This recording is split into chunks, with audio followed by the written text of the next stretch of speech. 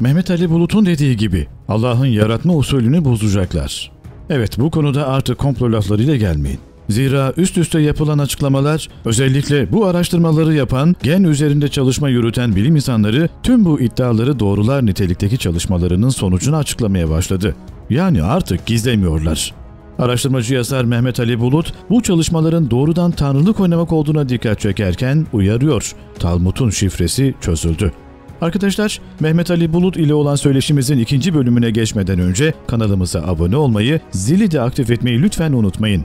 Peki zil nasıl aktif edilir? Soranlar var söyleyelim. Abone olduktan sonra hemen yan tarafında bir zil işareti bildiriyor. Onun üstüne tıklayıp tüm videolar için aktif et demeniz yeterli. Şimdi geçelim videomuza. Şimdi bu adamların elinde gerçekten bir eskatolojik bilgi var. Günlerin sonuna doğru ne olacağını çok iyi biliyorlar. Var. Nereden biliyorlar? Tevrat'tan biliyorlar çünkü onun şeyini şifresini çözdüler. Talmud var ellerinde. Gerçekten bunun şifresini çözdüler. Ve dolayısıyla da yani insanın hikayesini biliyorlar. Kur'an-ı Kerim bize diyor ki Haza zikrukum. Bu Kur'an sizin hikayenizin, sizin hatıranızın bir anlatımıdır. Biz onu görmüyoruz. Yani esasında Kur'an-ı Kerim'i ciddi manada Tevrat gibi eğer biz böyle e, deşifre etsek, anlamaya çalışsak ve la raddin ve la yabisin illa fi kitab mübin. İçinde her şey var o kitabın. Benim yakaladıklarım da ben Kur'an'dan yakalıyorum. Teknoloji falan bildiğim yok. Yani onları takip ettiğim de yok. Sadece Kur'an-ı Kerim'i ve çağ yakalayarak o vakte bakan bir ayete bakıyorum. Bakıyorum ki o vakte işaret ediyor. Ben oradan çıkartıyorum. Yoksa mesela e, Covid dediğimiz bu mahlukatın dabbetül arz olarak tanımlanmasını hiç kimse söylemeden ben söyledim. Bu bir abu bir atma iş değildi. Çünkü dabbetül arz tabiri, yerin yarattığı varlık, yerde yaratılmış varlık tabiri 2020'ye tekabül ediyor. 2020'de tam da böyle kendi kendine debelenerek canlı duran bir varlık ortaya çıktı. Ben şimdi bunun üzerine dedim ki bu bir tasarımdır. Nereden bildim? Çünkü Cenab-ı Hak o vakte yeryüzünde tasarlanmış hayvan tabirine o vakit tarihini düşüyor. Ha demek ki orijinal biçimi bu Covid şeyin Dabbetül Arz'ın orijinal biçim tiplerinden bir tanesi 2020'de ortaya çıkacak. Ha oradan nereye geçtim? Oradan da diyor ki şeyin Hazreti e, Süleyman'ın asasını bir dabbe yedi diyor. Yani bir kurt kemirdi demiyor. Bir dabbe yedi diyor. Ve böylece e, Süleyman'ın asası kırıldı. Ona aldım, ona baktım. Süleyman'ın asası kırıldı da 2020'ye 2024'e tekabül ediyor. Yani o, o da. Buna baktığın zaman sen bunun üzerine dedim ki bunlar bu dabbeyi kendileri insanlığın önüne attılar. Fakat bu dabbe üzerinden kendileri de yakalanacaklar. Çünkü iktidar yani Süleyman'ın iktidarını bir dabbe, Süleyman'ın iktidar olan asasını bir dabbe yıktı. Bunların da bugüne kadar yaptıkları görülmeyen her işi insanın lehineymiş gibi kabul edilen bu örgütün ne yapmak istediği, insanın başına nasıl bir çorap ördüğü ve insanları nasıl baskı ve sulta altına aldığının gözlenebileceği devre başladı. Çünkü Dabbe şeyin asasını kırdı. Ee, Hazreti Süleyman'ın. Ha bunların Hazreti Süleyman'ın iktidarını temsil ettiğini nereden biliyoruz? Yine Kur'an-ı Kerim diyor ki onlar Süleyman'ın iktidarında şeytana uydular. Şeytanın telkinlerine tabi oldular. وَاتَّبَعُ مَتَّدُّ شَيَاتِينُ ala mülki Süleyman'a. Süleyman'ın mülkünü tekrar getirdiler ve Süleyman'ın mülkü de yani hem de şeyde geçiyor aslında e, Tevrat'ın e, tekvin bölümünde insanın hayvanların, kuşların, varlıkların nasıl kontrol edilebileceğine dair çok ciddi bilgileri var. Biz Kur'an-ı Kerim Sat ve Saf surelerinden de biliyoruz ki Hazreti Süleyman'ın saltanatı muhteşem bir saltanat ve deniliyor ki ondan başka ondan sonra kimseye verilmedi. Yani daha doğrusu bir tek Süleyman'a verildi. Yani Yahudilere verildi ve bunu iki kere fesat için kullanacaklar ve kullandılar. Ben de Kur'an-ı Kerim yani karşısındaki daha doğrusu karşısındaki değil bizim elimizdeki ilahi metinden hareketle bunların hangi vakitte ne yapacaklarını buluyorum.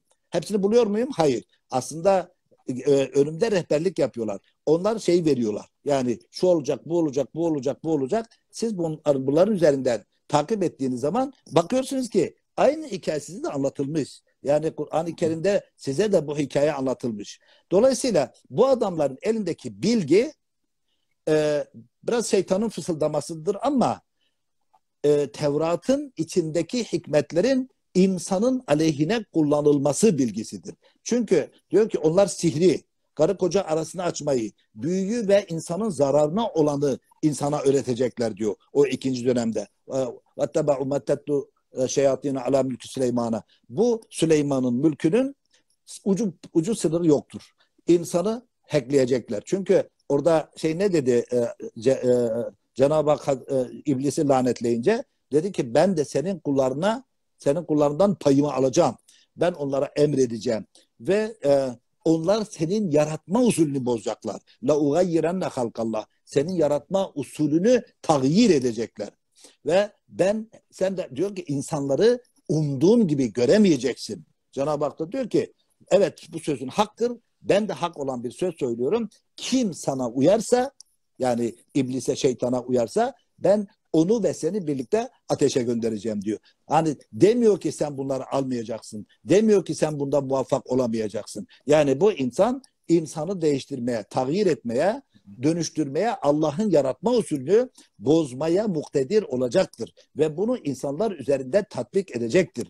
Ama öbür tarafta ne diyor? Sen benim gerçek kullarıma hiçbir halk edemeyeceksin diyor. El hakku vel hakku akul. Ben de söylüyorum benim söylediğim de haktır. Sen ben sana uyanları cehenneme göndereceğim. Senin gerçek halis kullarım üzerinde bir sultan olmayacak diyor. Şimdi bu adamlar bu kudreti kullanıyorlar. Ve yapmak istedikleri nedir? Mesela nerede geçiyor? Tekvim bölümü 28. bahiste geçiyor. Benim şeyde de ben bu mevzu almıştım. Ee, adını sen söyle. Bu Tanrı'nın halkının başı dertte kitabında. Şimdi bunlar diyorlar ki günlerin sonunda günlerin sonunda biz yeniden bu topraklarda yani arz-ı mevutta toplanacağız. Çoğaldıkça çoğalacağız ve e, insanlığın krallığını yani yeryüzü krallığını biz gerçekleştireceğiz. Nitekim esasında İsra suresi de buna bir şey veriyor. Mesela diyor ki ve amdadnakum bi emvalin ve benina ve cealnakum ekthera nefira. Nefir kelimesi nefret neferler demektir. Ve aynı zamanda da nefret demektir. Yani ayet de diyor ki ben sizi oğullarla ve yeryüzüne dağılmış oğullarınızla ve sermaye ile destekleyeceğim. Yani şu anda dünyada bunların elinde yani dünyanın sermayesinin yüzde yetmiş üçü bunların elinde, bu kavmin elinde. Cenab-ı Hak bunu açık bir şekilde söylüyor. Ben sizi destekleyeceğim diyor. Ne zaman destekleyeceğim? Sizin devletinizi ve sizin saltanatınıza son veren, yıkanlardan intikamınızı aldıktan sonra siz ikinci kere rövanş hakkı vereceğim ben size. Bu da işte 1948'e tekabül ediyor. 1948'de bu ikinci fesat dönemi sistemi kuruldu ve bu Hazreti Süleyman'ın iktidarından daha ihtişamlı bir iktidardır. Hazreti Süleyman'ın iktidarı neticede rahmani bir iktidardı ve Cenab-ı Hakk'ın e, hudutlarına uyan bir şeydi, bir e, iktidardı. Ama bunlar ilahi hudutları da tanımayan, insanı bir tanrı yerine koyan, tanrının elinden kudretini alarak onu şeye zorlamak, yaptığına pişman etmek ve yarattığı şu dünyayı bozmaya sevk edecek kadar yüksek e, nitelikli e, baş ve şey isyan e, yüksek nitelikli insan tabiatını ve fıtratı bozmaya yönelik bir kudrete yöneldiler. Bu teknoloji, şimdi bunu teknolojiyle yapıyorlar. Biz teknolojiyi mi suçlayacağız? Hayır. Yani birisi atomu parçaladı. De çıktı bunu atom bombası yaptı. Bu atom bombasını yapan ile onu parçalanları aynı kefeye koyamayız. Elbette ilim açısından birçok şeyler elde edilecek ve bu, biz bunları göreceğiz. Fakat bunlar sürekli bunu insanlığın aleyhine kullanıyorlar. Çünkü onlara denildi.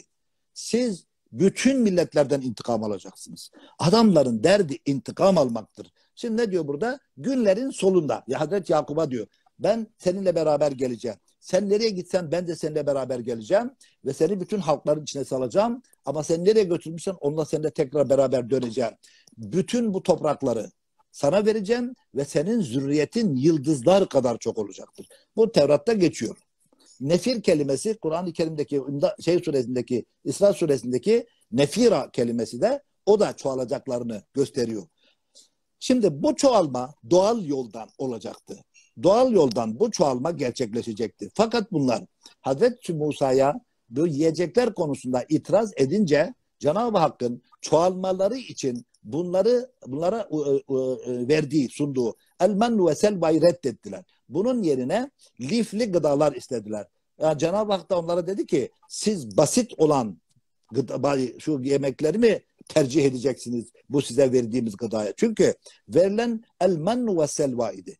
Helva ve mennu. El mennu aynı zamanda biliyorsunuz yani insanın attığı suyla da yakın isimlidir. Yani o e, az olan Yahudileri ve şey, o zaman henüz Yahudi değillerdi. Beni İsrail'i az olan, azaltılmış, kuvvetleri yok edilmiş, e, Mısır tarafından hegemonik manada bunlar yani köle edilmiş ve erkekleri az olan şu kavmin erkeklerini çoğaltmak ve doğurganlığını arttırmak için Cenab-ı Hak Sina Yarımadası'na bunlara bir tür et olan bir mantar ile bir tür helva olan bir mantarı yarattı ve verdi. Bu aşırı derecede şehvanilik var etti ve çoğalmalarını sağladı. Derdi buydu.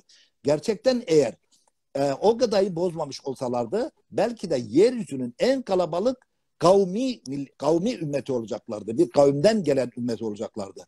Ama onlar iki şey yaptılar. Bir, e, o men ve selvayı reddettiler. Biz yeter bunu istemiyoruz. Yerin bitirdiğini istiyoruz dediler. Bir de Hazreti Musa'ya Hazreti Musa'dan öyle taleplerde bulundular ki bunun üzerine Cenab-ı Hak şöyle buyurdu. E, Duribet aleyhimuz zilletu vel meskenatu ve ba'u bi gadabi minallah. Allah da onların bu kendilerine takdir eden güzel gıdayı yani atıksız gıdayı red edip hayvaniyetini arttıracakları lifli gıdaları isteyince Cenab-ı Hak da dedi ki ben de size gadab ediyorum. Hadi buyurun çoğalın dedi ve kesti. Hatta bunların içerisinde mesela ilk defa şey ortaya çıktı.